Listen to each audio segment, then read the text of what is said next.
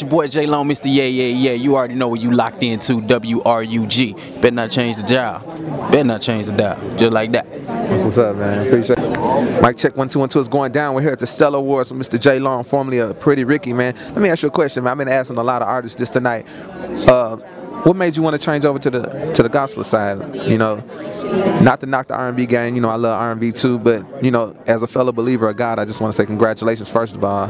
You know, I'm making a switch over. But uh, what inspired you to, to come over to God, son? Hey man, the Bible tells us God's children know His voice, and that's all it was. If it was up to me, man, I'd still be somewhere lost in the world. But all glory to God that He got me where I'm at right now.